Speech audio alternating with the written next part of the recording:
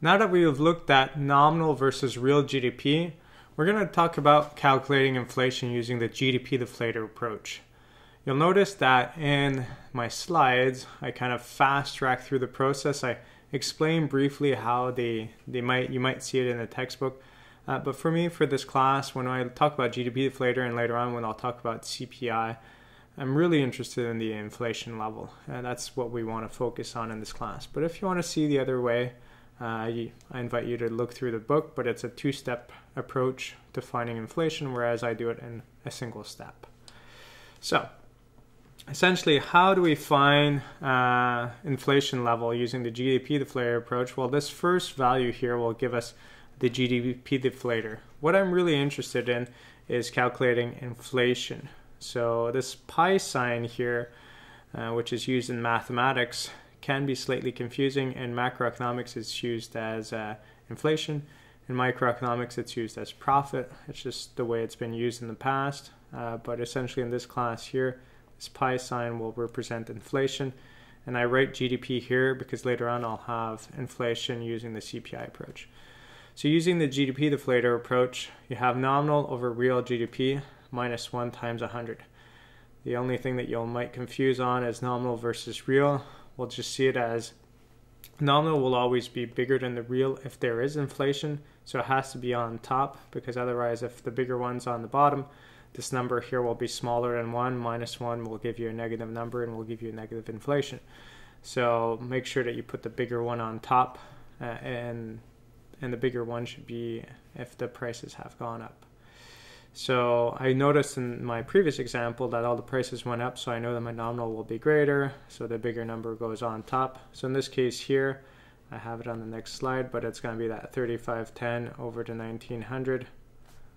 Uh, not the 1900, actually, it's the real GDP over the 2440. So you see that's one of the mistakes you could easily make. So that over that minus 1 and this whole amount here times 100 will give me my uh, G uh, inflation using the GDP deflator approach.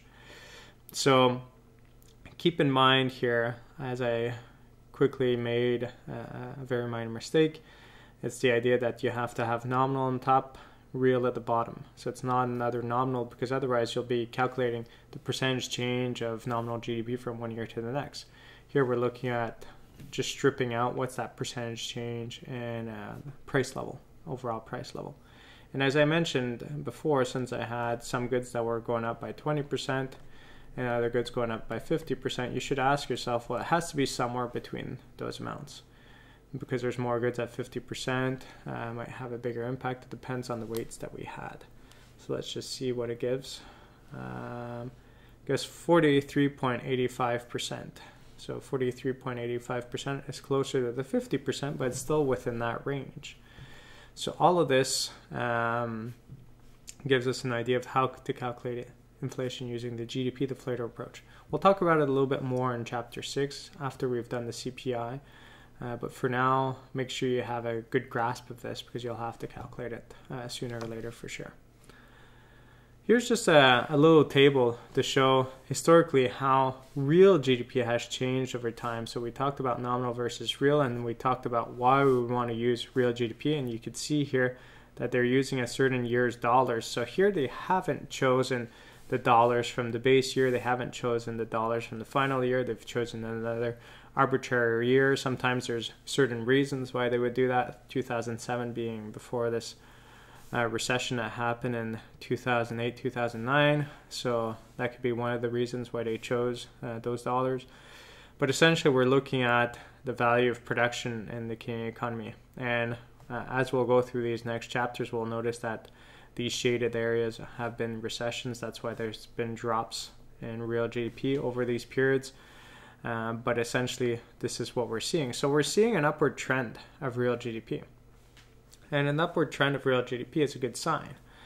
But the big thing, so, and, and all of this, we've stripped out the inflation calculation. Uh, we've stripped off, uh, I mean, the influence of inflation of an increase in price levels. So all of this is in a certain year's dollar terms. So we're actually producing more between 1970 and let's say uh, over here uh, 2010 ish were about three times the value of production. So, of course, we can have more cars and more other things per household as we did in the past because we're producing more. Uh, but the big thing that this whole graph uh, forgets is that this is based on total population. So, what has happened to population growth over this time? If population growth has tripled over these same years that I was looking at, well, essentially the, the GDP per person hasn't changed. So, what's going to be very important to look at was that GDP per person we had before, or GDP per capita means the same thing, it's GDP per person. So, just something to keep in mind when you see different stats saying, oh, we've had a big growth. Well, how much has population grown by, and other factors such as that. So that's it for GDP deflator, and uh, we're going to look at some of the pitfalls of using GDP approach if we're thinking about uh, the welfare of the Canadian citizens or citizens of another country next.